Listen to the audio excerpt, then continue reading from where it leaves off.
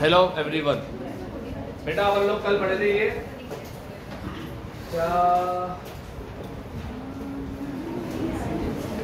Nature and extent of test of control nature कौन कौन से टेक्निक अपन यूज़ करेंगे?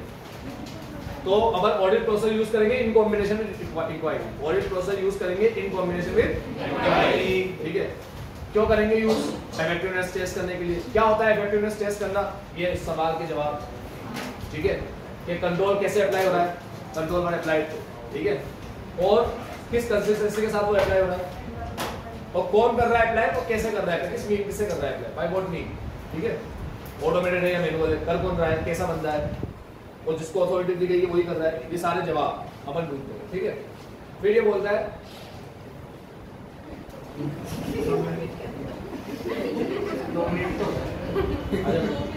दस मिनट के तो कोई टेंशन आ जाओ डिटरमिन मेथड का कंट्रोल टू बी अपन ने ये पढ़ा था।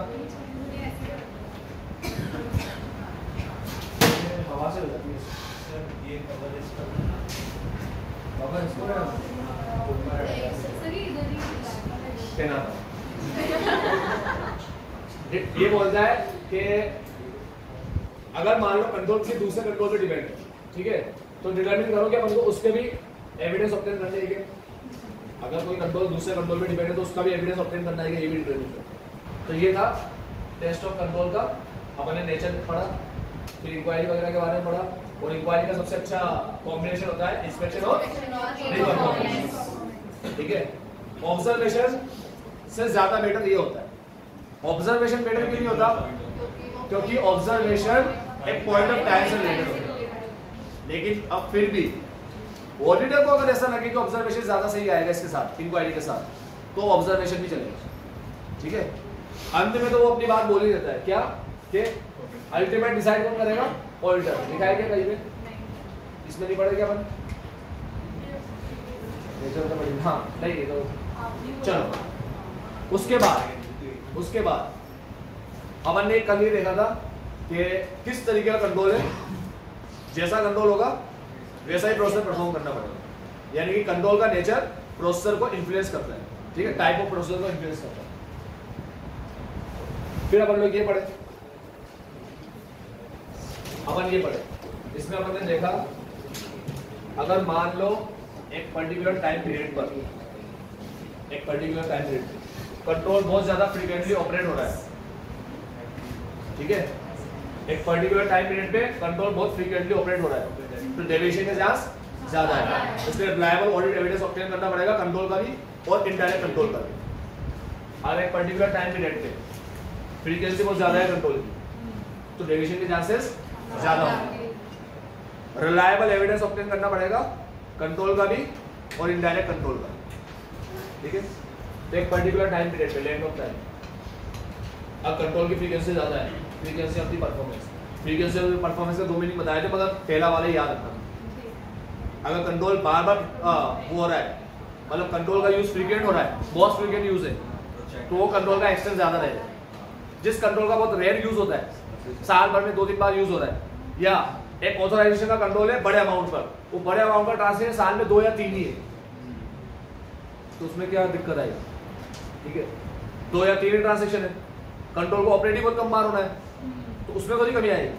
अगर दो या तीन बार ही ऑथोराइज करना है अपन को, ऐसे बड़े ट्रांजेक्शन दो या तीन बार ही होते हैं लार्ज अमाउंट के ट्रांजेक्शन तो उसमें क्या कंट्रोल में अपन को दिक्कत आएगी? और सामने वाले को, सामने वाला भी बराबर करेगा कंट्रोल एक कंट्रोल में दिक्कत है कब आती है जब कंट्रोल मोस्ट फ्रिक्वेंटली यूज़ हो। ठीक है? डेली यूज़ हो रहा है, बार बार यूज़ हो रहा है सेग्रीगेशन कर दिया ड्यूटी का। ठीक है? और मान लो सीज़न का टाइम आ गया, काफ़ी बिज़ी है, कुछ बंदे ध्यान नहीं दे पाए कंट्रोल अच्छे से काम नहीं कर रहा। ठीक है? तो फ्रीक्वेंसी ज़्यादा होने पर कंट्रोल का एक्सटेंड ज़्यादा। फ्रीक्वेंसी कम होने पर कंट्रोल का एक्सटेंड कम। ठीक है? लेंथ ऑफ़ टाइम टाइम ज़्यादा तो कंट्रोल ज़्यादा। ज़्यादा। टाइम के लिए भरोसा करना चाहते तो कंट्रोल भी ज़्यादा। ठीक है? ये मतलब। टाइम ज़्यादा कंट्रोल ज़्यादा का मतलब ज़्यादा टाइम के लिए भरोसा करो कंट्रोल भी ज़्यादा। ठीक है? फिर हमने देखा अगर लेंथ ऑफ़ टाइम ज़्यादा है और उसमें कंट्रोल फ्रीक्वेंटली यूज़ हो रहा है तो डेविएशन के चांस ज़्यादा होंगे। उसके लिए मैंने पढ़ा एक्सपेक्टेड रेट ऑफ़ डेविएशन अगर तुम्हारे तुम्हें लगता है डेविएशन के चांस ज़्यादा है तो एक्सटेंड ज़्यादा होगा। ठीक है? रिलायबिलिटी ऑफ़ ऑडिट एविडेंस तुम ऑडिट एविडेंस ऑब्टेन करो रिलायबल ठीक है? किससे रिलेटेड कंट्रोल के ऑपरेटिंग इफेक्टिवनेस तो भी अपने रिगार्डिंग ऑपरेटिंग इफेक्टिवनेस का कंट्रोल ठीक है? कंट्रोल के ऑपरेटिंग इफेक्टिवनेस से और लेते साथ में ऑडिट एविडेंस ऑब्टेन करो ठीक है? किससे रिलेटेड इनडायरेक्ट कंट्रोल से तो यहाँ पर ने पढ़ा अपन ने कितने ऑडिट एविडेंस ऑब्टेन किए? कितने हद तक? मतलब extend to which audit evidence obtain from test of other control तुमने कितने हद तक ऑडिट एविडेंस ऑब्टेन कर रखे दूसरे कंट्रोल को टेस्ट करने के लिए। दूसरे कंट्रोल को टेस्ट करने समझ गए ना? दूसरा कंट्रोल मतलब एक ही चीज़ पे तीन कंट्रोल लगाए। तो दो के बारे में ज़्यादा एविडेंस मिल गए। तो तीसरे के बारे में एक्सटेंड क्या रखेंगे? तीसरे का कम भी रखेंगे चलेंगे। ठीक है? तो ये पढ़ेंगे ये समझ गया अगर टाइम पीरियड ज़्यादा होगा और फ्रीक्वेंटली कंट्रोल ऑपरेट हो रहा है। ठीक है? तो डेविएशन के चांस भी ज़्यादा। इसीलिए रिलायबल एविडेंस ऑब्टेन करना पड़ेगा। कंट्रोल का भी इनडायरेक्ट कंट्रोल का अगर टाइम पीरियड ज़्यादा होगा और कंट्रोल फ्रीक्वेंटली ऑपरेट हो रहा है। ज़्यादा फ्रीक्वेंटली ऑपरेट हो रहा है। ठीक है? तो डेविएशन के चांस ज़्यादा होंगे। इसीलिए रिलायबल एविडेंस ऑप्टेन करना पड़ेगा। कंट्रोल का भी इनडायरेक्ट कंट्रोल ठीक है?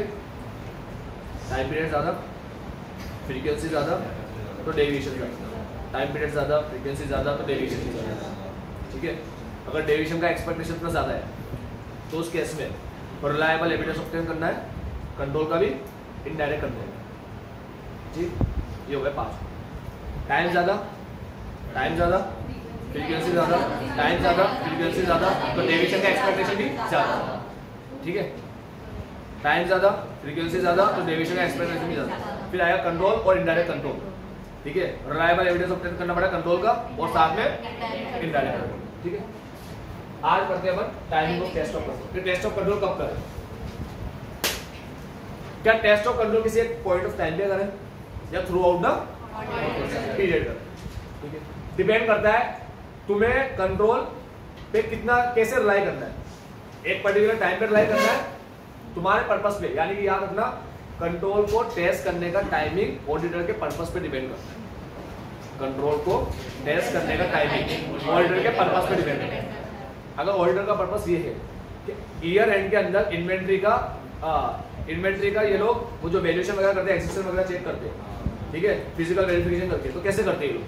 प्रॉपर हो रहा है नहीं हो रहा तो उस टाइम में ये लोग पॉइंट ऑफ़ टाइम वाला मतलब पर्टिकुलर टाइम पे देखेंगे कंट्रोल बराबर ऑपरेट हो रहा है नहीं।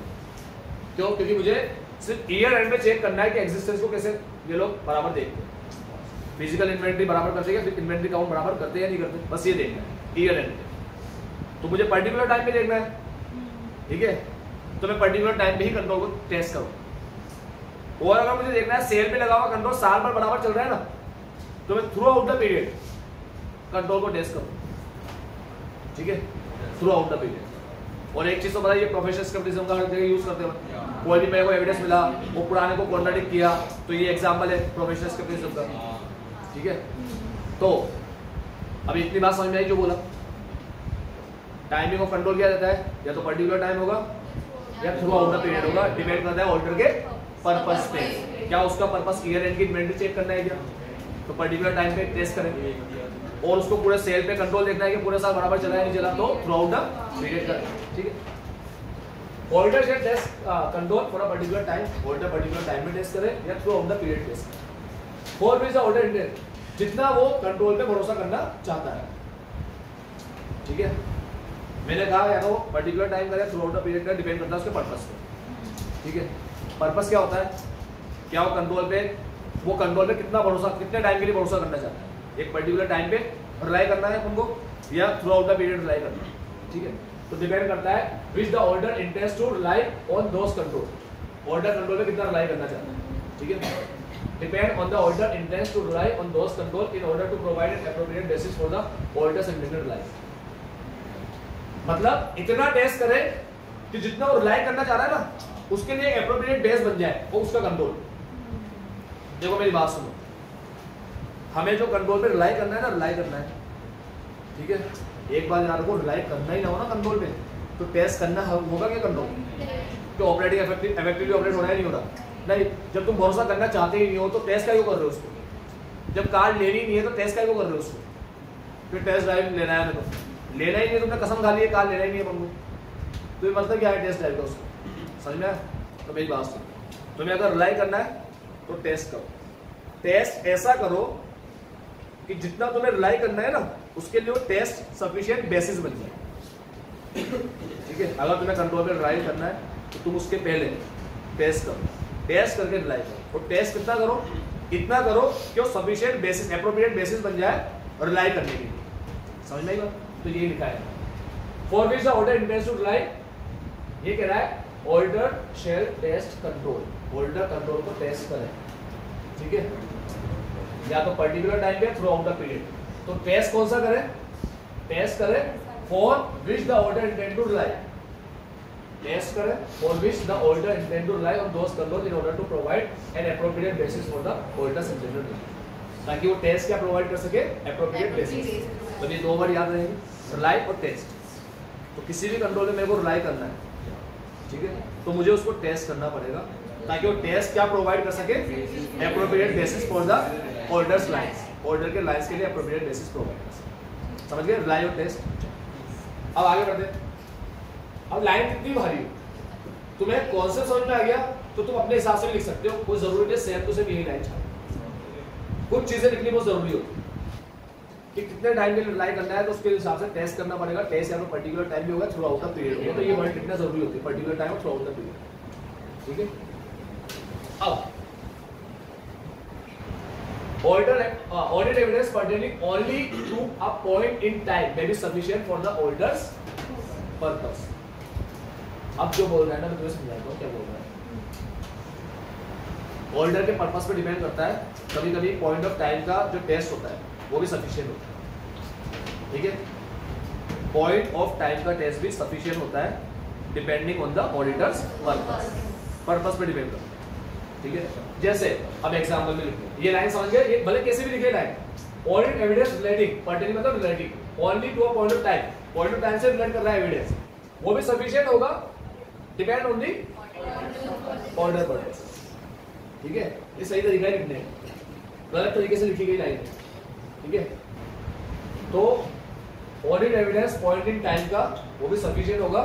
ये डिपेंड करेगा किसके ऊपर? ऑर्डर के पर्पस के ऊपर। ठीक है? मैं टेस्टिंग कर रहा हूँ over the entities physical inventory counting at a period खत्म जब हम कंट्रोल टेस्ट कर रहे हैं, इसका entities physical inventory counting physical inventory counting का एट अ ईयर एंड ठीक है? एक बंदा other hand the order intent lie the ground वही बात बोल रहा है, पूरा उस पर भरोसा करना है ओवर द पीरियड भरोसा करना है तो फिर क्या करेंगे?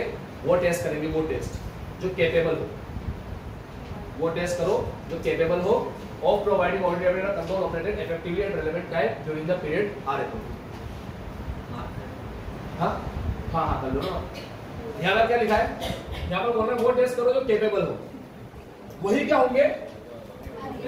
अप्रोप्रिएट तुम लिखना अपने लैंग्वेज में मगर। ठीक है? अब अगर order throughout the period भरोसा करना चाहेगा तो वो टेस्ट करेगा जिससे ऑल्डर एविडेंस अपन ऑप्टेन कर सके। ठीक है? जो ये बोले कि ये पता है world evidence relating to effectiveness of effective operating या इफ़ेक्टिव ऑपरेशन ऑफ़ कंट्रोल या इफेक्टिवनेस ऑफ़ कंट्रोल ठीक है? थ्रू आउट द पीरियड मतलब अगर थ्रू आउट द पीरियड भरोसा करना है तो ऐसा टेस्ट करो कि जिससे ऐसा एविडेंस मिले जो किससे रिलेटेड हो कि control throughout the period effectively operate हो रहा है। वही टेस्ट क्या होगा? एप्रोप्रिएट ठीक? अब तुम दो चीज़ याद रखना। अगर ऑल्टर कितने टाइम के लिए रिलाई करना चाह रहा है, उसके हिसाब से वो टेस्ट करेगा। टेस्ट ऐसा होना चाहिए जो रिलाई के लिए रिलायंस के लिए अप्रोप्रिएट बेसिस पर ठीक है?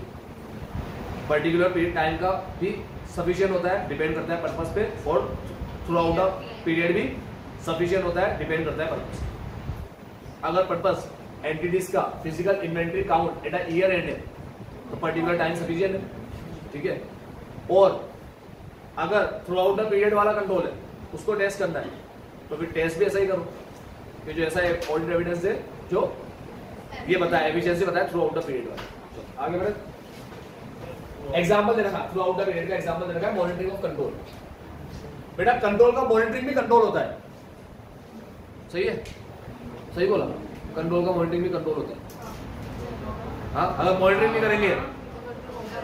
आज अपन ने एक लाइन पढ़ी थी ऊपर कि ऑर्डर ने देखा मतलब अगर ऐसे सर्कमस्टांसेस है जब कंट्रोल ऑपरेट हो रहा है मतलब कंट्रोल है, ठीक है?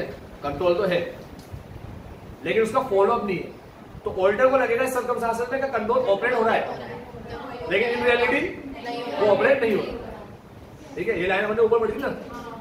टेस्ट ऑफ़ कंट्रोल समझ नहीं बात? तो ये कह रहा है कि तो मैं कह रहा हूँ, ये नहीं, मैं कह रहा हूँ। मॉनिटरिंग कंट्रोल का मॉनिटरिंग भी क्या होता है? कंट्रोल होता है। ठीक है? वो बाकी कंट्रोल को अच्छे से चलाता है। वो देखता है कंट्रोल अच्छे से काम कर रहे नहीं कर रहे तो याद रखना मॉनिटरिंग बाकी कंट्रोल के लिए इनडायरेक्ट कंट्रोल कहलाता है। जैसे एप्लीकेशन कंट्रोल सिर्फ़ ऐसा नहीं होता इनडायरेक्ट कंट्रोल सिर्फ़ जनरल आईडी कंट्रोल ही है बस। तुमसे मुझे इनडायरेक्ट कंट्रोल का एग्जांपल लिखो तुम लिखो जनरल आईडी कंट्रोल बस। नहीं मॉनिटरिंग भी अपने आप में क्या है? इनडायरेक्ट कंट्रोल क्योंकि मॉनिटरिंग अच्छी होगी तो बाकी कंट्रोल अच्छे चलेंगे। ठीक है? मॉनिटरिंग ऐसा कंट्रोल है जो बाकी कंट्रोल को हाँ सपोर्ट करता है। इफ़ेक्टिव फंक्शनिंग को सपोर्ट करता है, वही लाइन एप्लीकेशन वाइज लाइन ठीक है? तो अगर ये इफ़ेक्टिव है तो ये सपोर्ट करेगा बाकियों के इफ़ेक्टिव फंक्शनिंग को ठीक है?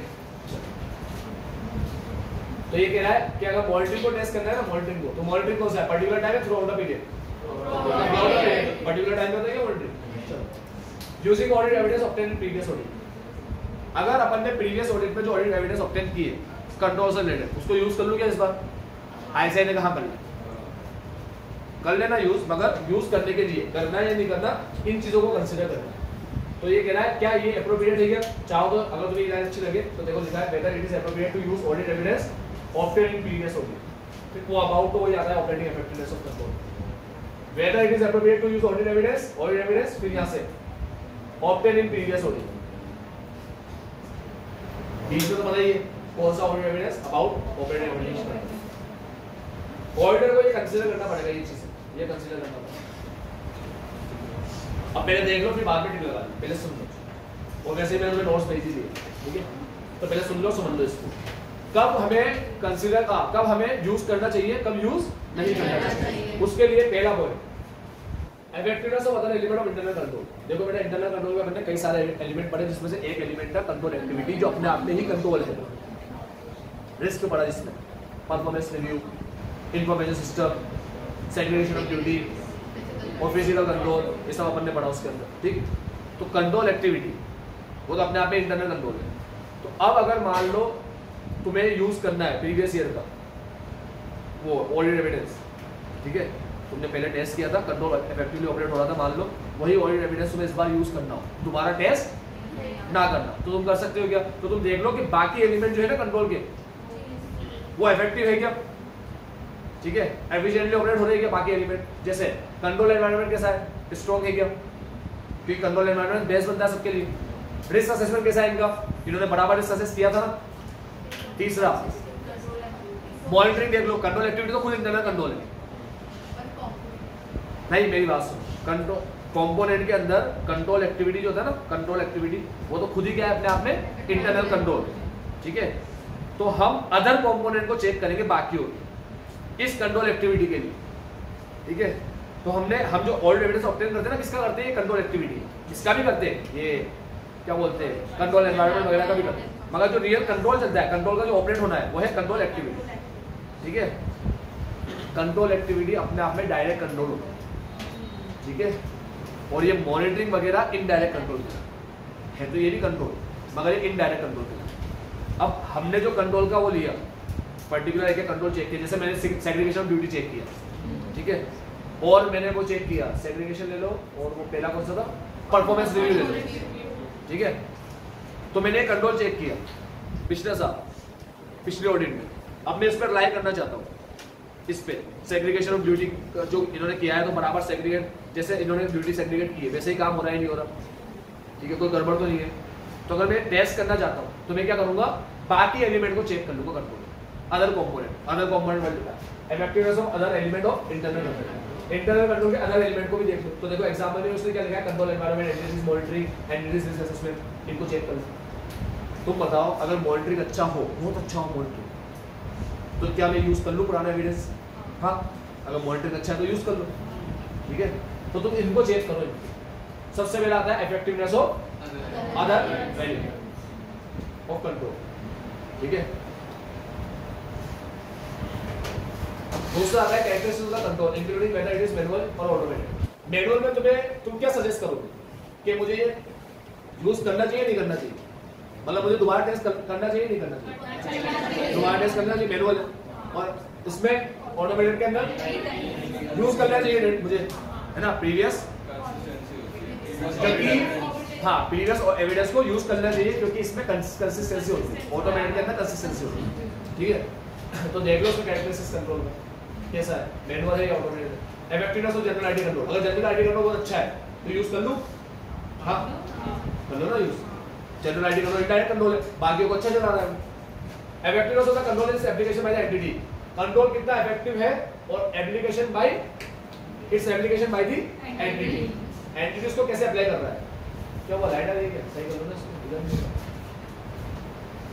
सही है भी अबे हवा भी मेरे लोगों को लग रही है यार। ये बारी कैंसिल है। वो एक से काम चल ही रहा है हाँ वो इसका इसको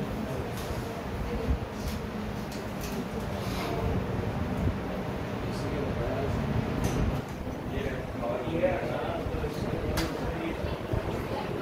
ऐसा क्या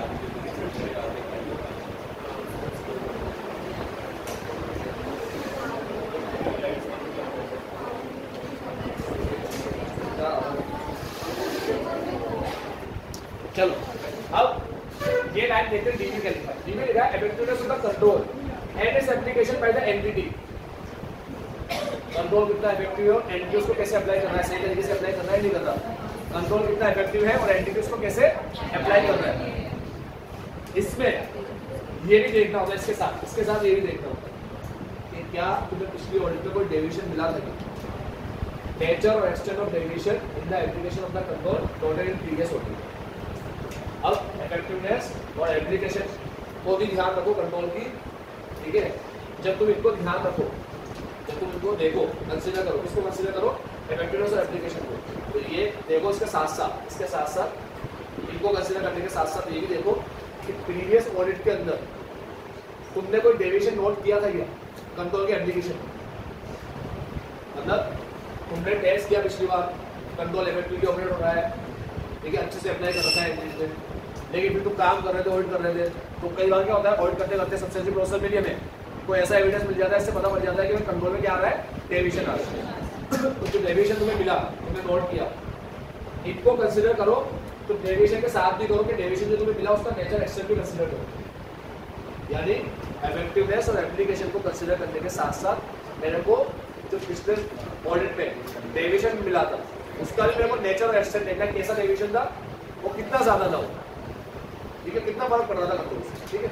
चलो। And whether there have been personal changes the significant that significantly affect the application of of the control भाई, पहले कोई दूसरा बंदा कंट्रोल ऑपरेट कर रहा था। ठीक है? अब वो चेंज हो गया उसके लिए दूसरा पर्सन आया। तो क्या, वो भी वैसे ही ऑपरेट कर रहा है या नहीं कर रहा? ठीक है? तो जब पर्सनल चेंज होते हैं तो पहले ही बता दिया मैंने, ऊपर बढ़ गया था चीज़ कि जब पर्सनल चेंज हो सीजनल फ्लक्चुएशन हो, ठीक है? ये तो ऐसे केस होते हैं पर कंट्रोल को टेस्ट कर ही रहना चाहिए। ठीक है? सीजनल फ्लक्चुएशन था पर्सनल चेंज था ही पर्सन वगैरह चेंज हो जाए, या फिर एक और पॉइंट था क्यों बनेगा ये तीन पॉइंट पर। तो याद है मेरा अपने तो ये कह रहा है ये भी चीज़ देख लो साथ जैसे तुम लोग ये देख लो सारा, कि अदर एलिमेंट कैसे? वो साथ में तुम देख लो कैरेक्टरिस्टिक्स कंट्रोल का मेनुअल है ऑटोमेटिक साथ में तुम देखो कंट्रोल उसके साथ ये भी देखो कंट्रोल का इफेक्टिवनेस उसका एप्लीकेशन जिसमें तुम लोग कंसीडर करना इंक्लूड इसमें क्या आता है अगर तुमने कोई डेविएशन नोट नोट नोट किया है नोटिस किया है पिछले ऑडिट ठीक है डेविएशन तो उसका नेचर एक्सटेंट भी देखेंगे साथ में कोई पर्सनल चेंज हुआ है ठीक है? Whether the lack of change in a particular control poses a risk due to changing circumstances. बेटा अगर सर्कमस्टांसेस में कुछ चेंज आता है तो कंट्रोल भी वैसे ही चेंज करो अगर वैसे चेंज नहीं किया, कुछ कमी रह गई। ठीक है? तो फिर यूज़ करोगे एविडेंस को? नहीं। तो lack of change a particular control पoses a risk due to changes अगर लैक ऑफ़ चेंज होगा तो फिर उसके अंदर रिस्क होगा। तो फिर यूज़ मत करो last wrong and external price risk बहुत ज़्यादा हो वो तो भरोसा ही बहुत ज़्यादा करना चाह रहे हो वो फिर यूज़ करना है कर लो टेस्ट टेस्ट कर लो। क्योंकि तुम भरोसा भी ज़्यादा करना चाह रहे हो रिस्क भी ज़्यादा। ठीक है? रिस्क बहुत ही कम बहुत ही कम। ना के बराबर रिस्क ठीक है? तो उस केस में लिए कंट्रोल इतना रिलेवेंट रहेगा है। ना? क्योंकि कंट्रोल तो रिलेवेंट कब होता है। उसके लिए मैंने पता था, कई सारी चीज़ें मटेरियलिटी वगैरह ये, वो साइज़ है ना? तो रिस्क बहुत कम है। तो फिर मैंने जो पिछले साल यूज़ किया था, पिछले साल मैंने जो टेस्ट किया था और उसको यूज़ कर पिछले बार में बहुत एक्सटर्नल टेस्ट कर चुका। तो हो सकता है उसको यूज़ कर लूँ इस बार। तो डिपेंड करता है तुम्हारे रिस्क पे और तुमने पिछली बार ओ सॉरी रिस्क पे और तुमने कितना, तुम्हें भरोसा करना है कंट्रोल कितना रिलाई करना है। अगर रिलाई करना ही नहीं है मान कंट्रोल पे भरोसा करना ही नहीं। तो फिर ओल्ड एविडेंस यूज़ कर लो मतलब पैसों कर लो करने की ज़रूरत नहीं पड़ेगी तो ये कह रहा है कि तुम्हें कितना रिलायंस करना है, ठीक है? और रिस्क कितना ज़्यादा है? तो रिस्क भी बहुत ज़्यादा हो, और तुम्हें कंट्रोल में भरोसा ही बहुत ज़्यादा करना हो तो एक बार दोबारा टेस्ट कर लो, उसको यूज़ करो। ठीक है? ये कह रहा है कि रिस्क कम है कंट्रोल में ज़्यादा रिलाई करना है। ज़्यादा रिलाई करना तो रिस्क तो मत करो, ठीक है? रिस्क ही कम है और तुम्हें कंट्रोल में भले ही ज़्यादा रिलाई करना है तो मत करो रिस्क वैसे बहुत ज़्यादा कम ठीक है? मतलब यूज़ कर लो ओल्ड एविडेंस टेस्ट मत करो ऐसा क्या यूज़ कर लो, अब दोबारा टेस्ट मत करो, ठीक है? यानी कि दोनों ज़्यादा हो ना रिस्क भी ज़्यादा हो, और भरोसा भी ज़्यादा करना है। तो फिर यूज़ मत करो टेस्ट करो। तो कम यूज़ करें, तब यूज़ ज़्यादा है, ठीक है? उसके लिए अपन को इनको कंसिडर करना है सबसे पहले आता है अदर कंपोनेंट कंट्रोल का अदर एलिमेंट ठीक है? अदर एलिमेंट में एक आता है ऑटोमेटेड ठीक है? अदर एलिमेंट में एक आता है ऑटोमेटेड इंफॉर्मेशन सिस्टम जिसके अंदर आता है जनरल आईडी कंट्रोल ठीक? अब जनरल आईडी कंट्रोल आ गया। अपन ने देखा कि इफेक्टिवनेस ऑफ़ सबसे पहले अदर एलिमेंट की इफेक्टिवनेस देखे। उसके अंदर मैनुअल और ऑटोमेटेड आता था ऑटोमेटेड देखा। ऑटोमेटेड के अंदर जनरल आईडी कंट्रोल आता है, ठीक है? साथ में मैनुअल के अंदर दूसरे बाकी कंट्रोल आते हैं, ठीक है? उसके बाद, यहाँ चेंज और यहाँ कंट्रोल लगाए जाते हैं पे ठीक है? और रिस्क आता है चेंज सबसे पहला आया हमारा। सारे एलिमेंट उस एलिमेंट में एक ऑटोमेटेड वाला इंफॉर्मेशन सिस्टम आता है। मैनुअल और ऑटोमेटेड ठीक है? ऑटोमेटेड के अंदर जनरल आईडी आता है और मैनुअल के अंदर बाकी कंट्रोल आते हैं अदर कंट्रोल आते हैं। ठीक है? ये कंट्रोल लगाए जाते हैं। रिस्क में तो risk assessment sorry risk operative statement और एक्सटर्नल कंप्लायंस दिया गया। ये कंट्रोल लगाए जाते हैं। रिस्क में और रिस्क आता है चेंज ठीक है? In the order plan to use audit evidence from previous audit. अब यहाँ पर क्या बोल रहा है मैं समझा अगर मान लो तुम लोग प्रीवियस ऑडिट के अंदर जो तुमने एविडेंस ऑब्टेन किए, ठीक है, अगर तुम उसका यूज़ करना चाहते हो तो तुम ये देख लो कि वो जो ऑडिट एविडेंस है ना, वो इस साल के लिए रिलेवेंट है या नहीं कोई ऐसे चेंज तो नहीं आ गए जिससे वो रिलेवेंट नहीं रहा तो हमेशा यार अपना प्रीवियस ऑडिट के एविडेंस को यूज़ करने के लिए ये देखना ही पड़ता है कि वो रिलेवेंट है इस साल के लिए या वो रिलेवेंट नहीं है। मतलब कोई ऐसा चेंज आ गया कि वो रिलेवेंट ही नहीं है, जो तुमने ऑडिट एविडेंस ऑप्टेन की कोई ऐसा चेंज आ गया कि जो तुमने ऑडिट एविडेंस ऑप्टेन किया ना, अब वो एविडेंस इस साल के लिए रिलेवेंट ही नहीं। यानी कंट्रोल ही बदल दिया सर्कमस्टांस से बदलने की वजह से कंट्रोल ही दूसरा आ गया। तो अब कोई मतलब ही नहीं उसका। ठीक है? या कोई पर्सन में चेंज आया। वो ढंग से काम नहीं कर रहा। अब ढंग से काम नहीं करेगा। तो पहले तो कंट्रोल ऑपरेट इफेक्टिवली ऑपरेट हो रहा था। अब हो नहीं रहा ऑपरेट इफेक्टिवली तो अगर अब इफेक्टिवली ऑपरेट नहीं हो रहा साइज़ बड़ी हो गई कंट्रोल में चेंज कर दिया, या पर्सन दूसरा आ गया, अच्छे से कंट्रोल नहीं चल रहा तो फिर उस केस में क्या करेंगे? हमारे लिए पहले का जो एविडेंस है, वो एविडेंस रिलेवेंट नहीं होगा। आई बात कोई पर्सन बदल गया, कोई सर्कमस्टांस में चेंज आ गए, ठीक है? अब मेरी बात ध्यान सुनो। पिछला एविडेंस यूज़ करने के लिए तुम्हें देखना होता है कि वो एविडेंस इस साल के लिए क्या है? रिलेवेंट है उसके लिए भी एविडेंस ऑब्टेन करना होता है। अरे तुमसे कोई पूछेगा कि तुमने इस पे भरोसा क्यों किया? हाँ? हमने कहा हमें रिलेवेंट लगा। तो तुमसे कोई पूछेगा कैसे लगा? वो सबूत है तेरे पास? तो क्या दोगे उसको? ठीक है? तो एविडेंस पे भरोसा करने के लिए ये देख लो कि वो रेलेवेंट है क्या? और ये देखने के लिए दोबारा एविडेंस ऑब्टेन करो। मतलब एविडेंस पे भरोसा करने के लिए एविडेंस ऑब्टेन करना है। तो देखो लाइट पढ़ के order shall establish the continuing relevance of that evidence अगर तुम लोग ऑल्ड एविडेंस यूज़ करना चाहते हो तो तुम्हें एस्टेब्लिश करना पड़ेगा। क्या एस्टेब्लिश करना पड़ेगा? The continuing relevance of that evidence उस एविडेंस का रेलेवेंस एस्टेब्लिश करना पड़ेगा। मतलब प्रूव करके बताना पड़ेगा कि वो एविडेंस रेलेवेंट है। तो इसके लिए कैसे करेगा वो? बाय ऑब्टेनिंग ऑडिट एविडेंस ठीक है अब ये लाइन थोड़ी भारी है एविडेंस इसका ऑब्टेन करना है whether significant change in those control have occurred subsequent to the previous audit. क्या प्रीवियस ऑडिट के बाद कोई चेंज आए ठीक है? उस क्या प्रीवियस ऑडिट के बाद कोई चेंजेस आए सिग्निफिकेंट चेंज सिग्निफिकेंट चेंज ठीक है? उस कंट्रोल में जिसका एविडेंस यूज़ करना चाहो तो इस पर डिपेंड करता है। अगर वो सिग्निफिकेंट चेंज है तो तुम तुम्हें सिर्फ़ इतना सा करना है कि तुम पुराना एविडेंस यूज़ कर सकते हो और अगर चेंज आए तो सिर्फ़ चेंज के लिए तुम क्या कर लो? एविडेंस ऑप्टेन कर लो। समझ में आया? पुराना एविडेंस यूज़ कर लो और जो चेंज आया उस चेंज चेंज के लिए तुम लोग एविडेंस ऑप्टेन ठीक है? तो इस लाइन में बोलता है, अगर ऑडिटर पुराना एविडेंस यूज़ करना चाहता है तो ये देख ले कि वो एविडेंस क्या है? रेलेवेंट है या नहीं? इसके लिए क्या ऑप्टेन करेगा? ऑडिट चेक करने के लिए ऑडिट एविडेंस ऑप्टेन ठीक है? और ऑडिट एविडेंस ऑप्टेन करा किसके बारे में? कोई सिग्निफिकेंट चेंज आया क्या? Subsequent to previous audit evaluate the operating effectiveness of control अब कंट्रोल के ऑपरेटिंग इफेक्टिवनेस को हम इवेल्युएट करते कैसे इवेल्युएट करेंगे? मतलब अपने पास एविडेंस आएगा तो हम क्या करेंगे? The order shape evaluate whether this statement अब देखो अच्छी बात बोलता है मैं मेरे को समझ क्या बोल रहा है। असल में बोल रहा है द ऑपरेटिंग इफेक्टिवनेस ये इंटरनल कंट्रोल के इवेल्यूशन की बात नहीं कर रहा हूँ, वो जो ऊपर पड़ा अपन ने था अंडरस्टैंड करना इवेल्यूएट करना, ठीक है? तो सबसे पहला काम है क्या होता है इंटरनल कंट्रोल अंडरस्टैंड करना।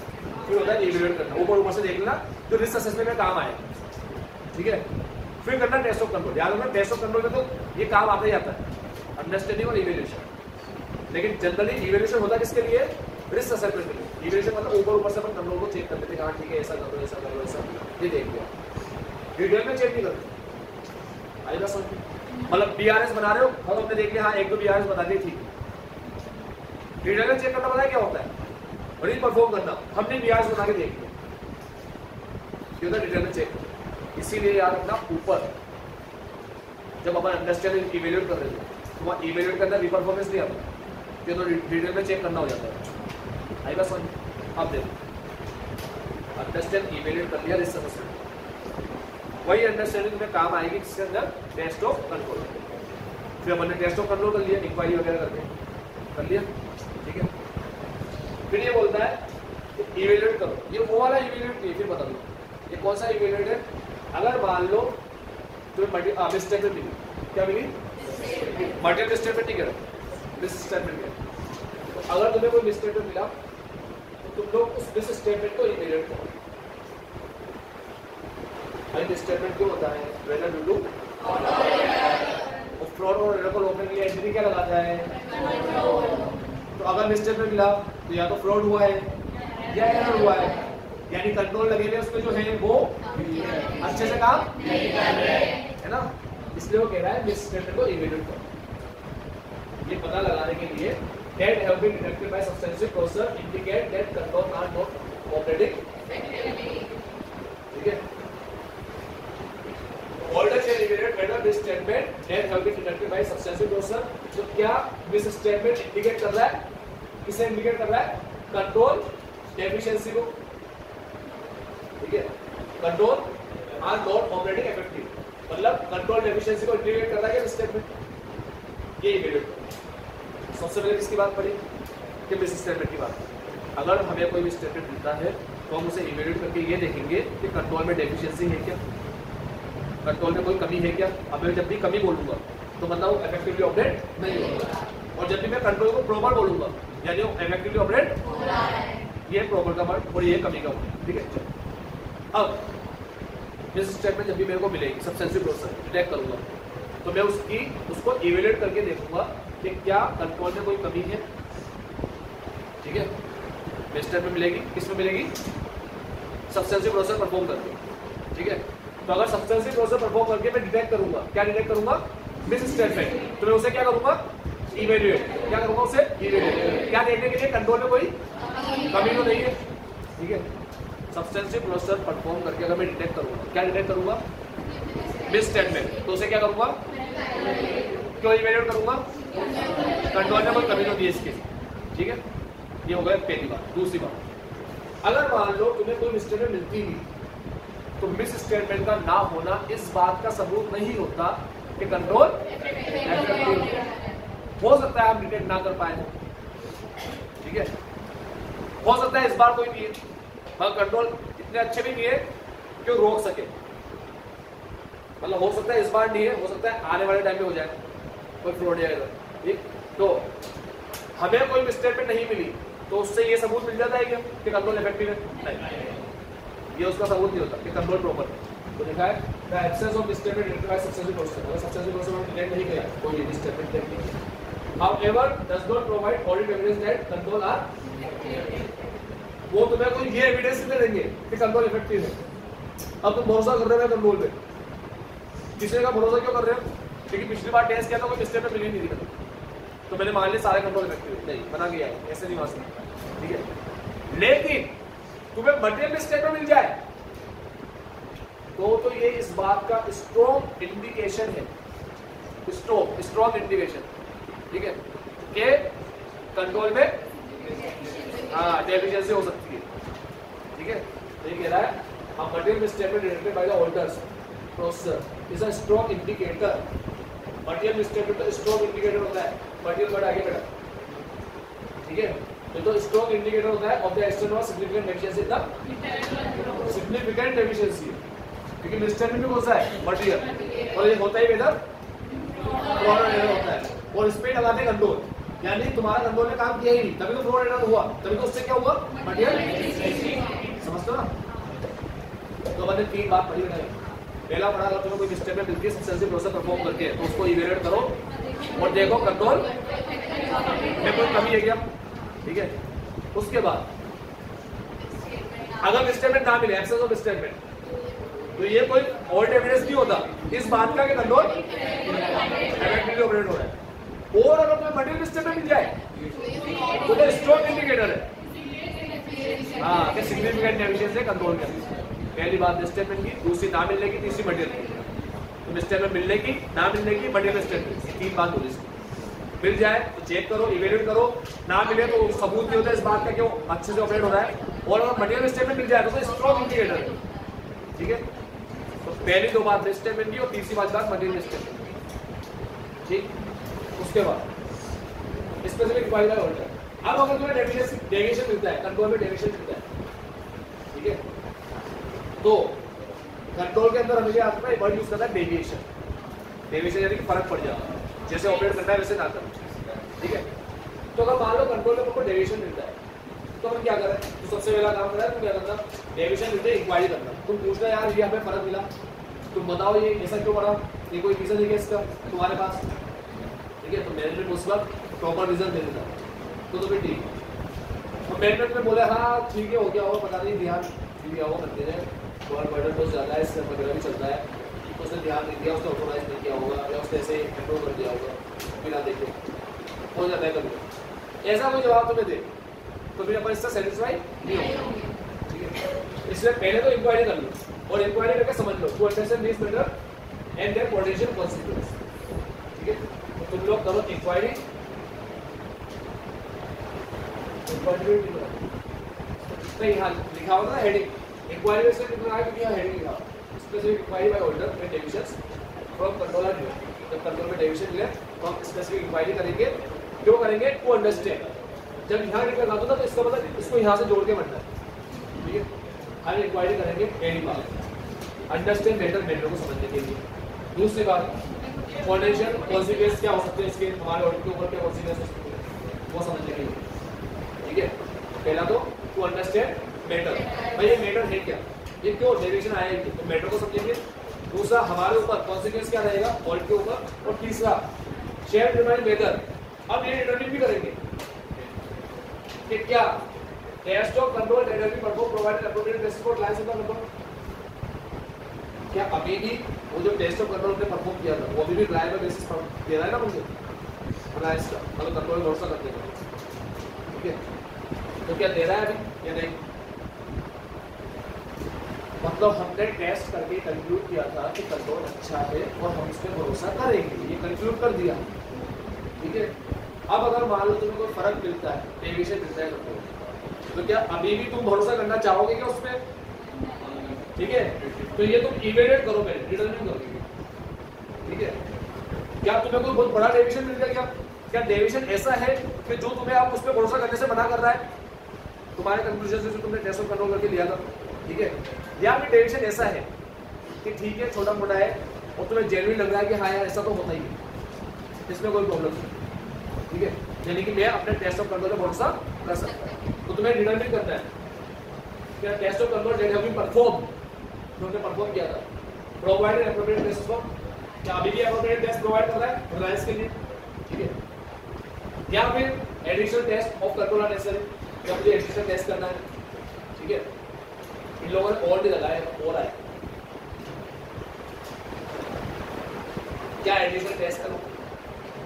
या फिर क्या potential risk need to be address using substantive process या जो रिस्क है, उसको कैसे रेस्पॉन्स करूँ? सब्सटेंसिव प्रोसेस परफॉर्म करूँ मतलब मतलब यह बोल रहा है, या फिर एक काम करूँ, कि अब जो मैंने टेस्ट किया था, अगर मैं उसको पर भरोसा नहीं कर रहा तो या तो मुझे दोबारा टेस्ट करना पड़ेगा, या मैं एक काम करता हूँ कंट्रोल पे भरोसा ही नहीं करता, छोड़ छाड़ के तो एसपी करने बैठती सब्सटेंसिव प्रोसेस समझे? तीन बात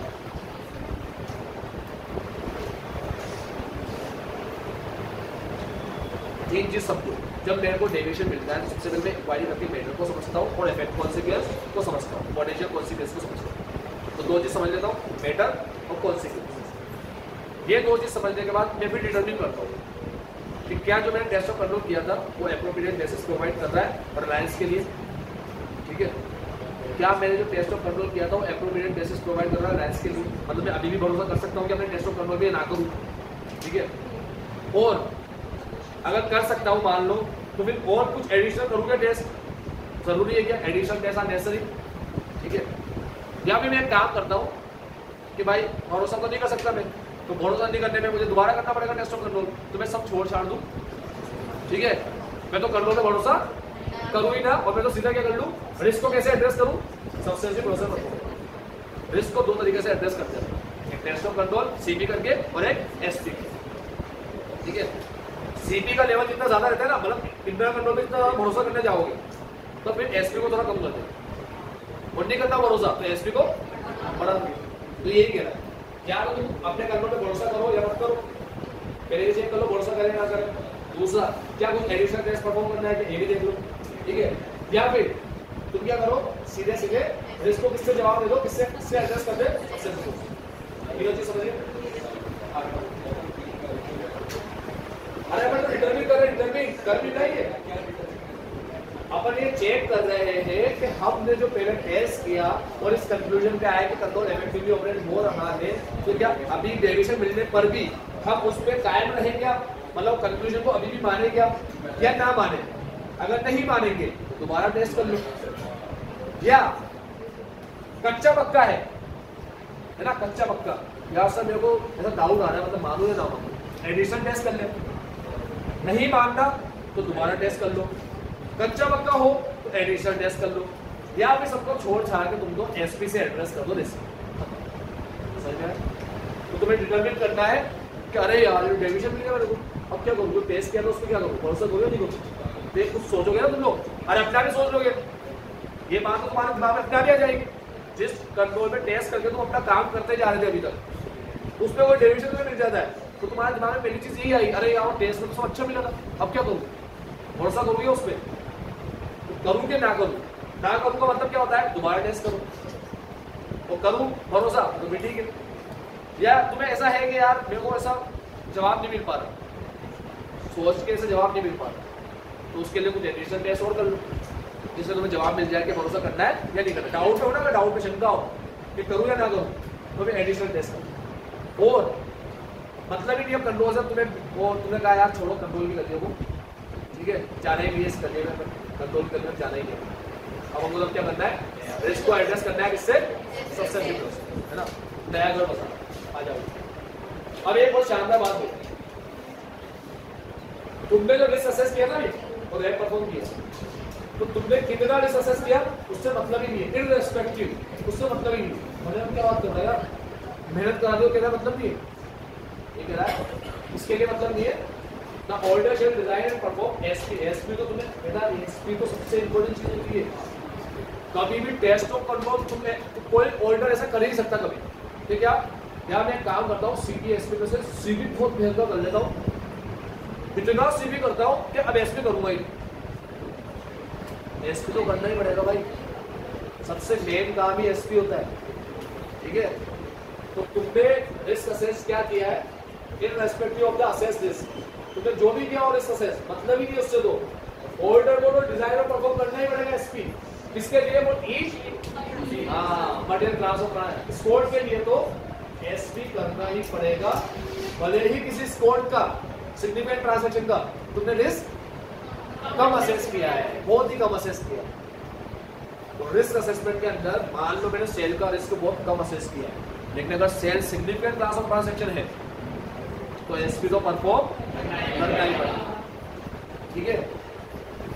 अब ये बोल रहा है कि एसपी को परफॉर्म करना ही करना है स्कोर के लिए रिस्क असेसमेंट से मतलब नहीं है। उसके लिए अंदर हमने कितना रिस्क किया, उससे मतलब नहीं है। रिस्पेक्टिव ऑफ़ असेस रिस्क इससे क्या बात साबित होती है? इससे दो बात साबित होती है, दो बात। पहली बात ऑडिटर का जो असेसमेंट होता है जजमेंटल होता है। जैसे भी ऑडिटर ने रिस्क असेस कम कर दिया तो स्टेप में मिलेगी ही नहीं। ऐसा ज़रूरी नहीं है। ठीक है? मतलब सिंपल सी भाषा में, किसी एग्ज़ाम का रिस्क कम है। एग्ज़ाम का रिस्क रिस्क मतलब होता है फेल होने के चांसेस कम है। तो इसका ये मतलब नहीं कोई बच्चा फेल भी होगा। कोई भी नहीं होगा फेल ऐसा तो नहीं तो इससे दो बातें साबित होती है कि असेसमेंट जो है वो जजमेंटल है। ठीक है? And so may not identify all risk of material state इसके ऑर्डर सारे आइडेंटिफाई ना कर सके। क्योंकि असेसमेंट जजमेंटल है तो ये ज़रूरी नहीं है सारे आइडेंटिफाई कर पाए। ठीक है? इसलिए कहता है वो एसपीओ सब पे करो क्योंकि हो सकता है तुमने कहीं पे रिस्क आइडेंटिफाई नहीं किया, मगर होगा पर रिस्क ठीक है? तुमने आइडेंटिफाई नहीं कर पाए। क्योंकि आइडेंटिफाई तो क्या है? असेसमेंट तो क्या है? जजमेंट है दूसरा इनहेरेंट लिमिटेशन भी होती है इंटरनल कंट्रोल ठीक है? तुमने तो कर लिया भाई आइडेंटिफाई तुमने तो कर लिया असेस रिस्क नहीं है। लेकिन मान लो कंट्रोल को ओवरराइड कर जाएगा मैनेजमेंट तो ये भी नहीं लगा ठीक है? इससे दो फैक्ट सामने आते हैं। ये एसपी करने के लिए बोलता है। बेटा मेरी बात एसपी करने के लिए बोलता है। ठीक है? रिस्क असेसमेंट के अंदर मैंने रिस्क असेस किया है। उससे मतलब है। जैसे बोलते हैं मना करता है। तो हमने कहा, यार असेसमेंट में असेस किया है, उससे क्यों मतलब नहीं है? तुम एसपी करने का क्यों बोल रहे हो स्पॉट के लिए? तो इसने कहा, भाई, तुम्हारा रिस्क जो है ना जजमेंटल हो। सकता है तुमने कहीं पे रिस्क आइडेंटिफाई ना किया हो, मगर हो ठीक है? पहली बात। और दूसरी बात, जो इंटरनल कंट्रोल की अपन बात कर रहे हैं, उसमें भी क्या होता है? तीन हंड्रेड लिमिट हो सकता है मैनेजमेंट को क्या कर जाए? ओवर कर जाए अब तुम्हें तो दिख रहा है कंट्रोल अच्छा है। लेकिन तुम्हें पता है पेमेंट में अगर फ्रॉड करेगा तो क्या बनाएगा? बचने के लिए कंसील करेगा उसको बाय डिज़ाइनिंग ऑर्गेनाइज ठीक है? और ऑर्डर के सामने क्या प्रोवाइड कर देगा? डॉक्यूमेंट इसको ऑर्डर को लगेगा, ये रियल है। मगर एक्चुअल में वो फेक है। है ना? वो ऑर्डर उसका क्या नहीं होता? ऑथेंटिकेट करने के लिए एक्सपर्ट नहीं होता वो। एक्सपर्ट नहीं है ऑथेंटिकेट कर पाए। इसीलिए भाई तुम तो क्या कर लो सक्सेसिव प्रोसेस परफॉर्म करो।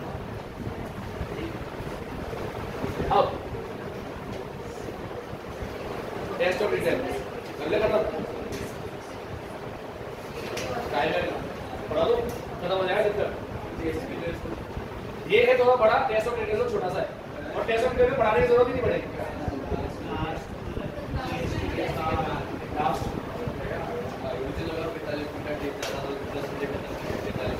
और खुशी के लिए test of detail test of detail में क्या होता है? पीओडी आई पीओडी के दो part test of transaction and test of balance यानी कि वाउचिंग वही बोल रहा है. देखो जल्दी से देखो जल्दी से, बहुत simple test of detail are further classified into test of transaction यानी कि वाउचिंग और टेस्ट ऑफ़ बैलेंस यानी कि वेरिफिकेशन वाउचिंग वेरिफिकेशन है. ठीक है? तो test of transaction test of balance vouching को बोलते हैं टेस्ट ऑफ़ ट्रांजेक्शन यानी कि पेमेंट के आइटम और वेरिफिकेशन पर यूज़ करते बैलेंस शीट ठीक है? अब ऐसे नहीं है परचेस ट्रांजेक्शन में भी वेरीफाइड गलत लिख दिया सर भी बाउंस लिखता था। ऐसे ऐसे नहीं होता भाई। ठीक है? वो नाम अपन नाम ऐसा रखा है बाउंसिंग वेरिफिकेशन नाम।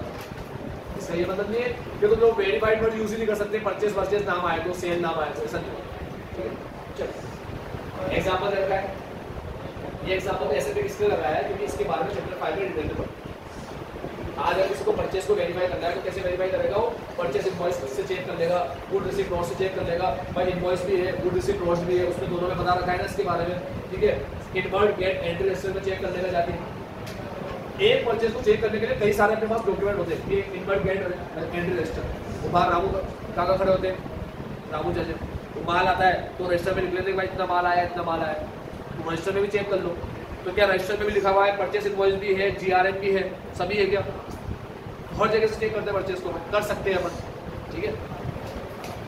Sir stage of transaction authenticity of transaction ये टेस्ट ट्रांसैक्शन की ऑथेंटिसिटी बहुत अच्छा मैं खुशी हुई आज आप यहाँ test of balance verification of asset and asset और लायबिलिटी का वेरिफिकेशन आता है टेस्ट ऑफ़ बैलेंस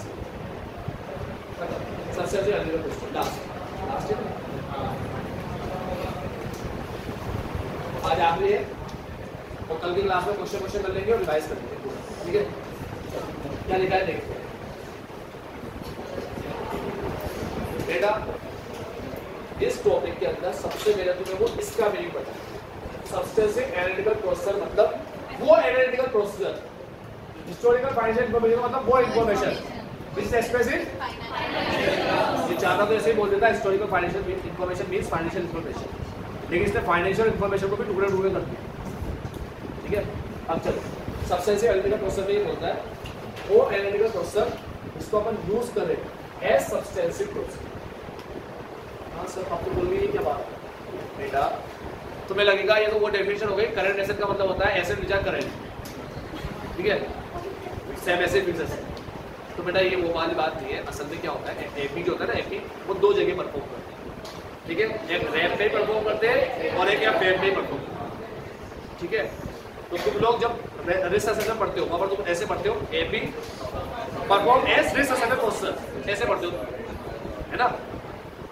इसी में जब यहाँ पर पढ़ोगे तो यहाँ पर बोलोगे AP use as perform as substantive processor तो जब एपी को सब्सटेंसिव प्रोसेसर की तरह परफॉर्म किया जाए तो सब्सटेंसिव एनालिटिकल प्रोसेसर तो मैंने तुम्हें पहले बताया, अभी इसमें सेट की डेफिनेशन है सेट अब ये एप की बताया।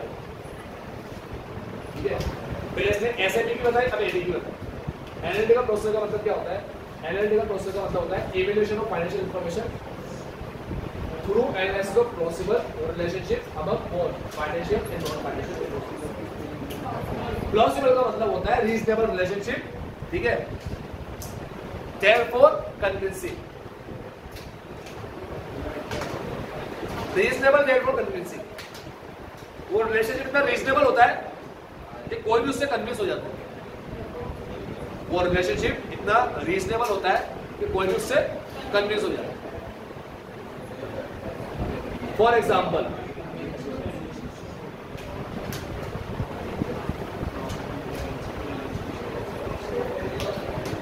बेटा कन्विंसिंग और स्ट्रॉन्ग क्या होता है? परसुएसिव तू समझना बात को? परसुएसिव कैसा एविडेंस किस एविडेंस को परसुएसिव बोलते हैं? जो स्ट्रॉन्ग और कन्विंसिंग हो। ये क्या है? ये रीजनेबल रिलेशनशिप प्लॉसिबल का मतलब होता है रीजनेबल ठीक है? मैं ऐसे बोल रहा हूँ line reasonable therefore convincing वो होता इतना रीजनेबल है कि कोई भी उसको हाँ रिलेशनशिप की बात चल रही है। ठीक है? एविडेंस की बात नहीं चल रही। अभी अपन रिलेशनशिप की बात कर रहे हैं कि रिलेशनशिप ऐसा रीजनेबल है कि कोई भी उससे ठीक है? आज मान लो मैं कोई ऐसे लोगों की बात करूँ कि जिसके बीच में कुछ बात ही नहीं होती। आज जैसे मान लो, यशपाल बैठा है वहाँ, सिद्धार्थ बैठा है यहाँ, यशपाल आया लेट, अभी नए बेच में आया। ये दोनों को मैंने कभी बात करते देखा नहीं, ना तुम लोगों ने कभी बात करते देखा। और मैं ऐसे बोलूँ, ये बेस्ट फ्रेंड है, सिद्धार्थ और यशपाल ऐसे बेस्ट फ्रेंड है, ये दोनों एक दूसरे की बिना नहीं की बातें तुम मेरी बात से कन्विंस हो जाओगे? पॉसिबल नहीं। तुम बोलोगे, सर, ये गलत बेटी आपको ये आपको गलत ठीक है? ना तो वो उन्होंने कभी एक दूसरे से बात करी, ना कुछ, और आप कह रहे हो दोनों बेस्ट फ्रेंड ये कौन सी बात कर रहे कोई इससे हाथ पाओ भी नहीं आपकी बात करी? तो रिलेशनशिप हाँ रिलेशनशिप कौन सा होना चाहिए? प्लॉसिबल होना चाहिए। प्लॉसिबल का मतलब रीजनेबल जो सामने वालों को क्या करते? ऐसा रिलेशनशिप नहीं होता वो मतलब ही नहीं दूर दूर तक बात ही नहीं कर रहे, आया बंदा लेट ये इसको जानना नहीं है वो अलग बंदा है। मैं कह रहा हूँ दोनों बेस्ट फ्रेंड है मतलब ही नहीं ठीक है? दिन रात बात करें, साथ रहे, और बोल सकते यार ये लोग अच्छे दोस्त है बेस्ट फ्रेंड है, ठीक है?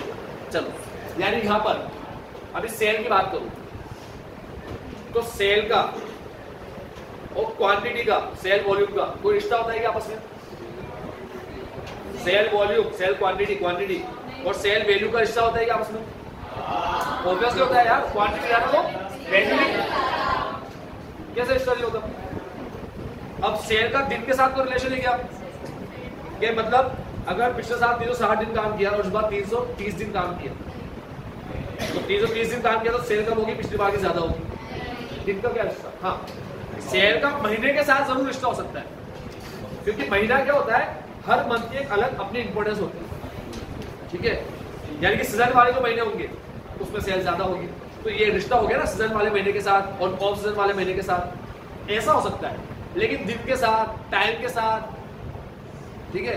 इससे कोई सेल का कोई लेना देना नहीं होगा। तो रिलेशनशिप ऐसा होना चाहिए जो प्लॉसिबल है रीजनेबल अगर बात समझे प्लॉसिबल का मतलब समझ आएगी reasonable therefore convincing reasonable and convincing नहीं बोल रहा। रीजनेबल देयरफॉर कन्विंसिंग बोल मतलब रीजनेबल है, इसलिए कन्विंसिंग है। ठीक है? तो मेन बात क्या है? रीजनेबलनेस रिश्ता रीजनेबल होना चाहिए, ठीक? तो ये बोलता है कि एटी क्या करता है? एटी जब भी एटी किसी के बीच में, जैसे फाइनेंशियल और नॉन फाइनेंशियल डेटा के बीच में क्या देखता है पॉसिबल रिलेशनशिप ठीक है? तो पॉसिबल रिलेशनशिप को एनालाइज करता एटी क्या करेगा? किसी भी फाइनेंशियल और नॉन फाइनेंशियल डेटा के बीच में प्लॉसिबल रिलेशनशिप को एनालाइज करेगा। कि इसमें कोई रिश्ता है? ठीक है? और है तो फिर उसकी पूरी स्टडी करेगा। कि इसके हिसाब से कैसे चल रहा है? मतलब अगर सेल क्वांटिटी का और वॉल्यूम का कोई रिश्ता है, बेटा अपन ये ऊपर बढ़ के आ चुके हैं। वो फ़ूड स्टेप का तुम बढ़ के आए थे। वो उसमें क्या लिखा था यार? फुटेज वो मतलब क्या होता है? स्क्वायर फुटेज बढ़ के आए थे स्क्वायर फुटेज स्क्वायर फुटेज में क्या होता है कि जितना बड़ा अपना एरिया होता है तो एरिया का रिश्ता सेल के साथ अपन कंपेयर करते हैं। सेल का जो अपना एरिया जब अपन माल बेच रहे हैं, उस एरिया का रिश्ता सेल के साथ अपन कंपेयर करते हैं। स्क्वायर फुटेज नाम की चीज़ पढ़ के आया था मतलब एक जगह। चालीस टक्कर नंबर थ्री में नहीं था टू में था वो हाँ एंड का प्रोसेस में था, सही कह रहा है। अपन ने फुटेज पे टिक लगाया था। स्क्वायर फुटेज पे टिक लगा अपन ने टिक लगाया था। हाँ वॉल्यूम ऑफ़ सेल पे टिक लगाया था।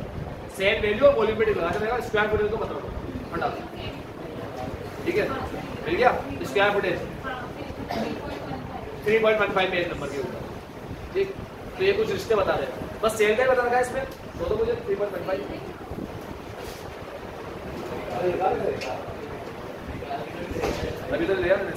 देखो यहाँ लिखा है relationship between sale and square footage और सेलिंग स्पेस सेलिंग स्पेस कितनी बड़ी है? ठीक है स्क्वायर फुटेज का मतलब सोचो ना। कितने स्क्वायर फीट जगह है कितने स्क्वायर फीट जगह सेल की? तो सेलिंग स्पेस और सेल का कोई रिश्ता है क्या? दूसरा, क्या सेल का वॉल्यूम गुड सोल के साथ कोई रिश्ता है क्या? हाँ होता ही है रिश्ता। ठीक है स्पेस के साथ भी होता है। गुड सोल के साथ भी होता तो याद रखना, अब कोई तुमसे पूछे एपी क्या होता है? एपी का काम है प्लॉसिबल रिलेशनशिप की स्टडी करके फाइनेंशियल इंफॉर्मेशन की स्टडी करो ठीक है? तो फाइनेंशियल इंफॉर्मेशन की स्टडी करने का नया तरीका। क्या? प्लॉसिबल रिलेशनशिप की स्टडी बस ये फाइनेंशियल इंफॉर्मेशन को एक्टिवेट करना थ्रू एनालिसिस ठीक? तो फाइनेंशियल इंफॉर्मेशन की स्टडी करना रिलेशनशिप की स्टडी करके ये होता है एक फाइनेंशियल इंफॉर्मेशन की स्टडी करना। कैसे? रिलेशनशिप की स्टडी करना। एक तो होता है सारे बिल वगैरह चेक करके। ठीक है? अपन वो कर रहे हैं। Test of detail test of sorry test of detail के अंदर वो होगा बाउची वेरिफिकेशन कर रहे हैं। एक तो वो तरीका होता है। और एक तरीका होता है रिलेशनशिप एस्टेब्लिश कंपेयर करना। ट्रेंड को रेशियोस को अभी पूरा अपन डिटेल में पढ़ चुके हैं। सेल और प्रॉफिट का एग्ज़ाम्पल देके पढ़ाता ठीक है? अगर सेल इतनी प्रॉफिट इतना है तो अगर मान लो मैं तुम्हें ऐसे बोला दस करोड़ की सेल है, आठ लाख का प्रॉफिट है तो कोई दिक्कत है? तुम बोला, नहीं सर, कोई दिक्कत नहीं। लेकिन पिछले साल पाँच करोड़ की सेल पे दस लाख का प्रॉफिट था। तो इस बार दस करोड़ की सेल पे आठ लाख का क्यों है? अब दिक्कत आएगी बंद तो जब कंपेयर करते हैं तो कंपेयर करके कई सारी प्रॉब्लम क्रिएट हो जाती है। ठीक है? तो ये होता है जीपी रेशियो एनपी रेशियो तो सारे रेशियोज ट्रेंड वगैरह, जो भी है ना, जो अपन एफ़ पे पढ़ते हैं। एफ़ यूज़ आती है अभी हम। ठीक है? एपी के बारे में पूरा वो बताया ऐसे 520 तो 520 में डिटेल में पढ़ेंगे। अभी शॉर्ट में बस पढ़ लेते एपी तुम लोग 520 में डिटेल में पढ़ोगे अभी आएगा आगे चैप्टर नंबर फोर के अंदर ऐसे 520 वहाँ डिटेल में पढ़ते ठीक है? इसका अभी थोड़ा बहुत इसके बारे में याद करो ओवर कोर्स ठीक? तो एपी क्या होता है? मुझे तो क्या बताओगे? कि फाइनेंशियल इंफॉर्मेशन को इवेल्युएट करना कैसे? Through analysis of plausible relationship between financial and non financial data rent को चेक करना रेंट एग्रीमेंट से। रेंट है फाइनेंशियल डेटा रेंट एग्रीमेंट है नॉन फाइनेंशियल इंफॉर्मेशन ठीक है? अब इसके अंदर क्या आता है?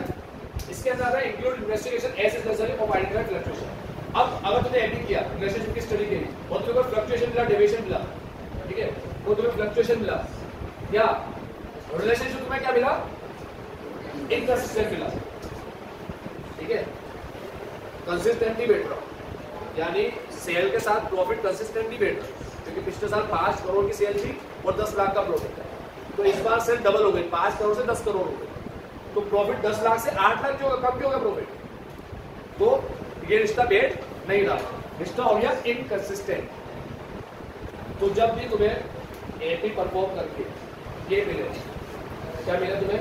मतलब रिलेशनशिप चेक करके तुम्हें क्या मिले? एक तो फ्लक्चुएशन मिले कोई फ्लक्चुएशन मिले, या रिलेशनशिप तुम्हें क्या मिले? ये मिलने का हमको कुछ करना है क्या? हाँ अब हमको करना है इन्वेस्टिगेशन तो इन्वेस्टिगेशन एपी से अलग है एपी का ही पार्ट है? ये बोलता है। इंक्लूडिंग एपी एपी में। है? तो एपी में दो चीज़ आ एक तो रिलेशनशिप की स्टडी करना और वो स्टडी करके अगर कोई डेविएशन मिले, कोई फ़र्क मिले, ठीक है? वो स्टडी करके तुम्हें कोई फ्लक्चुएशन मिले डेविएशन मिले, या रिलेशनशिप इनकंसिस्टेंट मिले तो उसका क्या करना?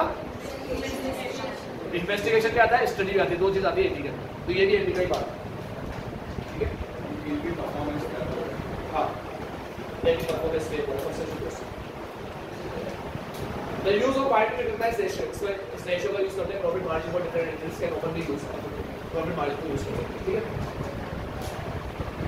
मान लो कपड़े का ऑडिट करने जा रहे हो तो दूसरे कपड़े वाले का वो चेक कर लूँगा रेशियो जीबी रेशियो क्या है?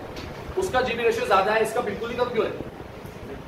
वो भी कपड़े का काम कर रहा है ये भी काम कर रहा है ये कम मार्जिन ले रहा है ये कम रुपये ले रहा है ठीक है to provide evidence to support the reasonableness of recorded amount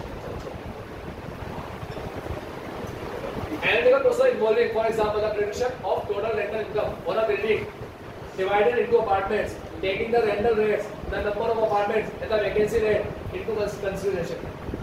क्या कह रहा है अपार्टमेंट की रेंट भी मालूम कर सकते हो अब रेंट जो होता है, वो फाइनेंशियल डेटा होता है। और रेंट सही है, ये मालूम करने के लिए। तुम नॉन फाइनेंशियल डेटा को उससे कंपेयर करो। रेंट से कंपेयर करो। नॉन फाइनेंशियल डेटा में क्या आता है? अगर मुझे चेक करना है रेंट सही है क्या? या रेट का प्रिडिक्शन लगाना है कि मैं जिस बिज़नेस का होल्ड करने जा रहा हूँ, उसका रेट क्या हो सकता है? ये प्रिडिक्शन लगाना है। या तो रेंट के अमाउंट को चेक करना है रेंट का मुझे प्रिडिक्शन लगाना है। ठीक है? मैं क्या करूँगा? The prediction of the total rental income on a building divided to apartment ऐसी बिल्डिंग का रेंटल इनकम प्रेडिक्ट करना है। तो मैं रेंटल इनकम प्रेडिक्ट करने के लिए क्या देखो ये ये वाला, अब से काम शुरू होगा। टेकिंग द रेंटल रेट फिर तो रेंटल रेट मालूम करूँगा कि क्या रेंटल रेट है द नंबर ऑफ़ अपार्टमेंट कितने अपार्टमेंट है? ठीक है? And the vacancy rates into यानी, बेटा तुम लोग कॉस्टिंग पढ़ के आ चुके हो। एक ऑक्यूपेंसी रेट पता होती है अब इसमें क्या लिखा है? जो कॉस्टिंग पढ़ के नहीं आया, उस बच्चे को समझाया अगर मान लो, सौ अपार्टमेंट कितने अपार्टमेंट है? सौ। और ऑक्यूपेंसी रेट होती है एटी फाइव परसेंट चलो एटी कर दो एटी परसेंट ऑक्यूपेंसी रेट क्या है? एटी परसेंट तो हमारे कितने रूम ऑक्यूपाइड रहते हैं? ऑन एवरेज अस्सी। ठीक है? और रेंट है रेंट की रेंट है हज़ार। या दस हज़ार। ये आ गया कितना? आठ लाख। ठीक है? अब देखो बेटा हंड्रेड क्या है? Apart the number of apartment hundred क्या है? द नंबर ऑफ़ अपार्टमेंट ठीक है? अस्सी परसेंट क्या है? पंद्रह परसेंट वैकेंसी रेट है, अस्सी परसेंट ऑक्यूपेंसी रेट तो इसको कंसिडर कंसिडर किया ना? मुझे वैकेंसी रेट पता पड़ गया पंद्रह परसेंट तो हाँ सॉरी बीस परसेंट है, बीस परसेंट मैंने क्या ले लिया है ऑक्यूपेंसी रेट अस्सी परसेंट ठीक है? साथ में। रेंटल रेट दस हज़ार। ठीक है? तो रेंटल रेट लिया दस हज़ार। इससे मेरे पास आया आठ? तो अगर मुझे रेंट का प्रिडिक्शन करना है। तो मैं क्या करूँगा? नंबर ऑफ़ अपार्टमेंट होगा। Number of apartment vacancy rate होगा बीस परसेंट। ऑक्यूपेंसी रेट आ जाएगी अस्सी परसेंट। और साथ में रेंटल मतलब रेंट होगा रेंटल ये सब लेने के बाद मेरे पास रेंटल इनकम ठीक है? समय को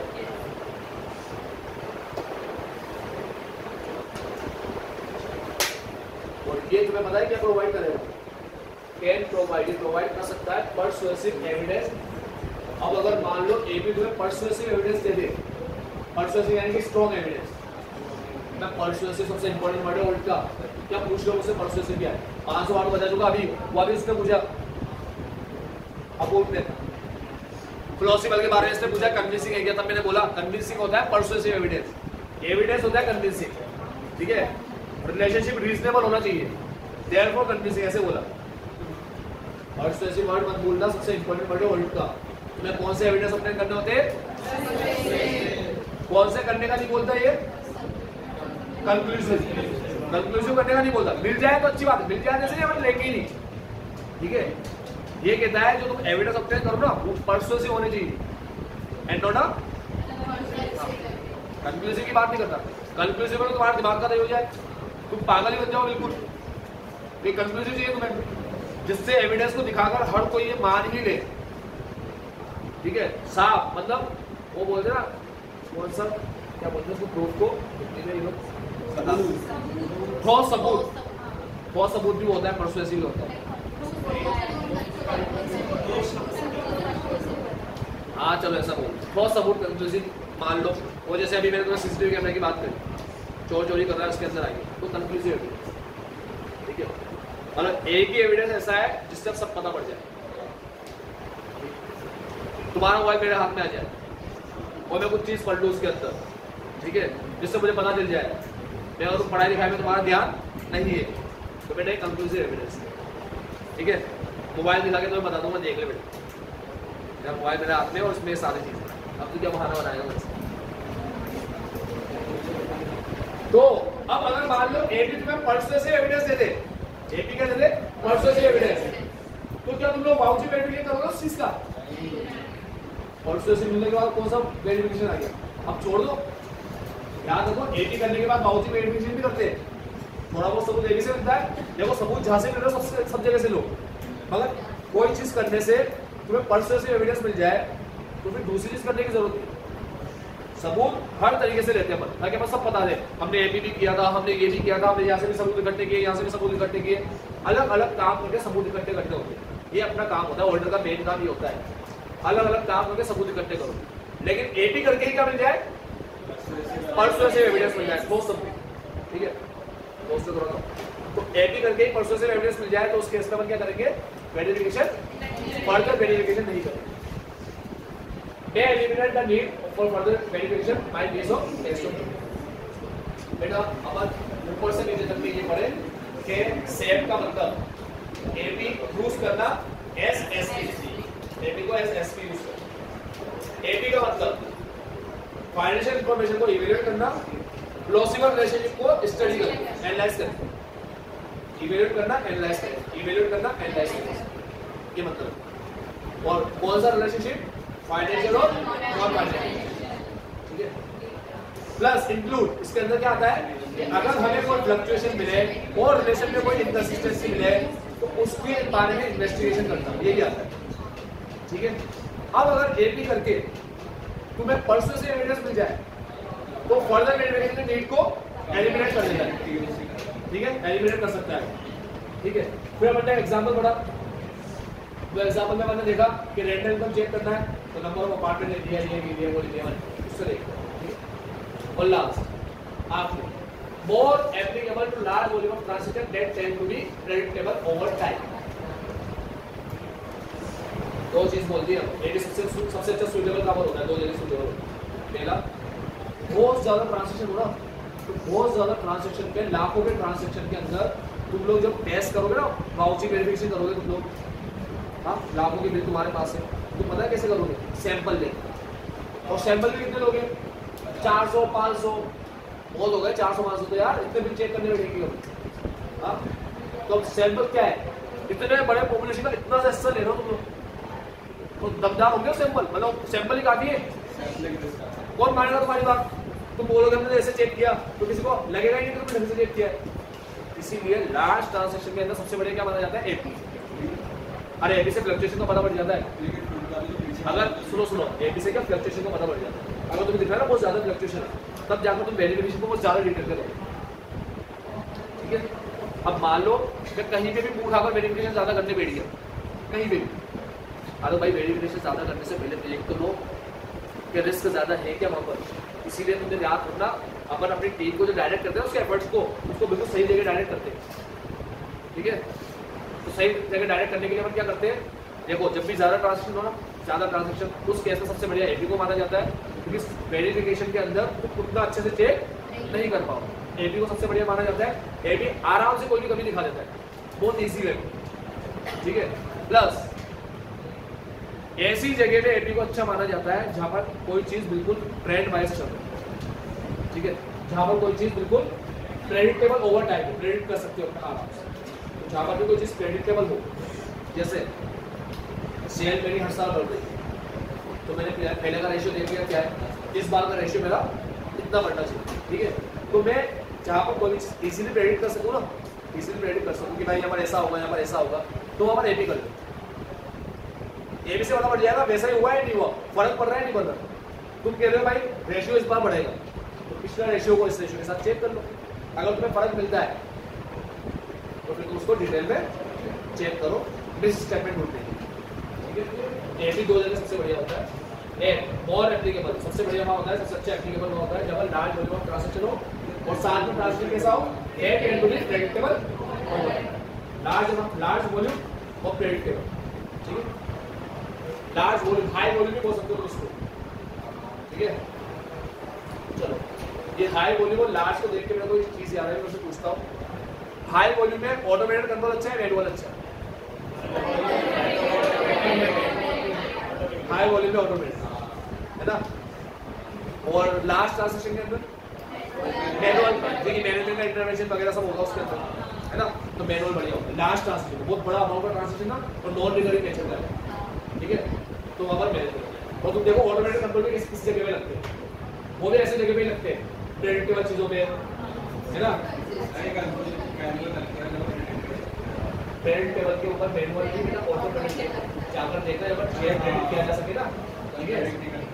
कमाल की बात है ये कमाल की बात है ऑटोमेटिक और एप्लीकेशन ऑटोमेटिक भी लार्ज हाई वॉल्यूम पे लगता है लार्ज वॉल्यूम पे लगता है, और सारे पेरेंट टेबल लगता है। सेम ऐसा ही ठीक है। हाँ बस खत्म हो लास्ट में लिखा है depending on the circle alter में डिटरमिन दैट अब सक्सेसफुल प्रोसेस कितना परफॉर्म करे? डिपेंड करता है सर्कमस्टेंसेस पे कितना परफॉर्म हो? जैसे performing only will be sufficient to reduce audit risk to an acceptable low level कहीं कहीं पे सेफ़ ही अकेला काफ़ी होता है। का क्या मिल जाए तुम्हें जहाँ पर? सेव करके कौन सा एविडेंस मिल जाए? हाँ मतलब परसुएसिव जहाँ पे परसुएसिव एविडेंस मिल जाए तो वहाँ सेफ़ अकेला काफ़ी होता है फॉर एग्जांपल मेरा order assessment of risk is supported by audit evidence from test of control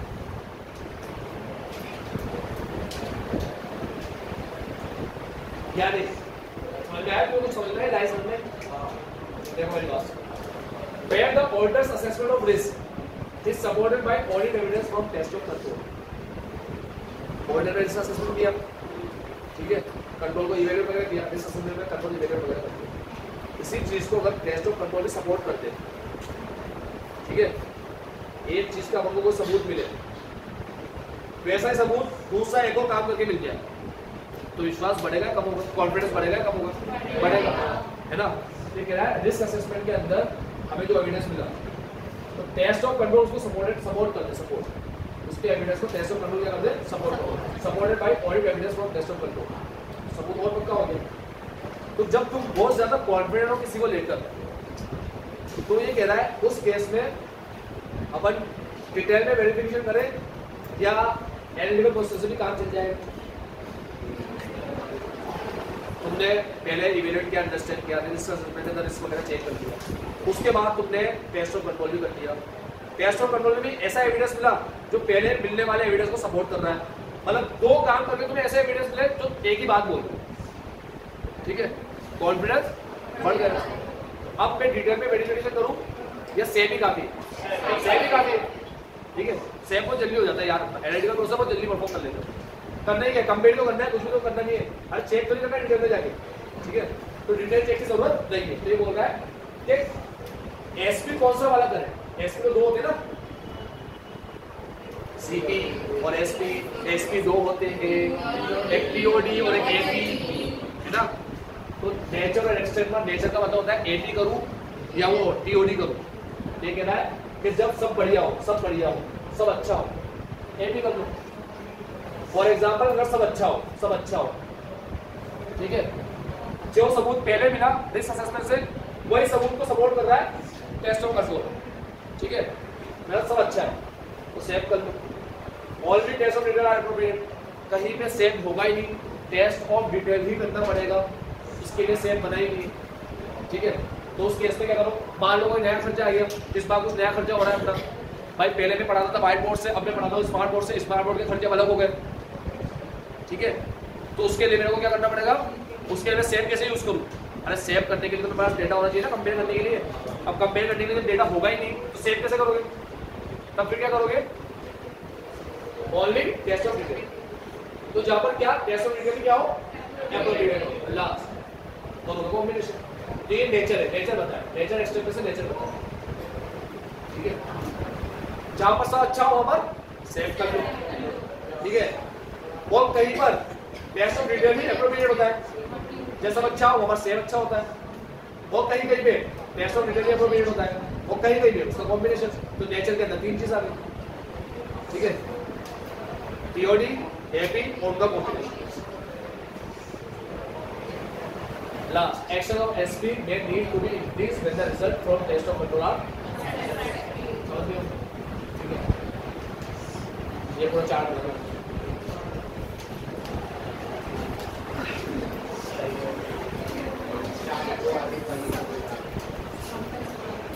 ये जब तक कंप्लीट होता है, कल आतिशबाजी का प्रोग्राम है।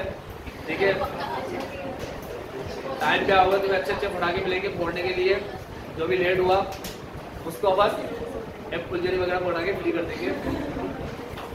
चलो बेटा, बहुत खुशी हुई मेरे को चैप्टर कंप्लीट हुआ, आज के लिए मैं टेक केयर